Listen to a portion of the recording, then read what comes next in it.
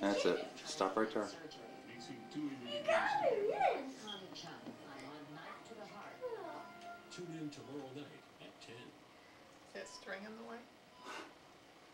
Serving northern New York and southeastern Ontario.